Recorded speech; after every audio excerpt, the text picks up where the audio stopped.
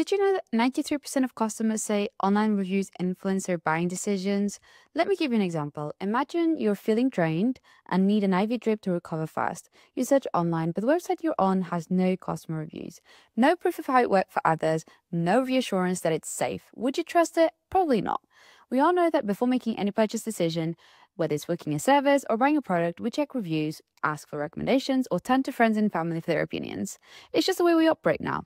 So if you're not putting those customer reviews front and center, you're missing out on potential clients.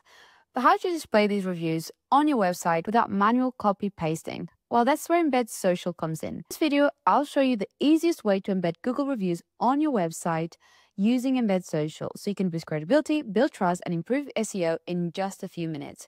Plus, you need to set it up once and then it runs on autopilot. First, head to Embed Social and sign up for an account. The best part, you can try it for free for seven days, no commitment. Once inside, connect your Google Business profiles to Embed Social and can automatically sync and update your reviews in real time.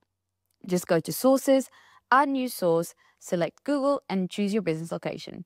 Now for the fun part, customization. You can choose from over 60 widget templates, adjust colors, layout, and even moderate which reviews appear. Want a floating widget or maybe a grid display? It's all up to you. Once you're happy with the design, click Embed and copy the generated code. Simply paste the code into your website builder, whether it's WordPress, Shopify, Wix, or any other CMS. And just like that, your Google reviews will appear live in real time with no extra manual work on your side.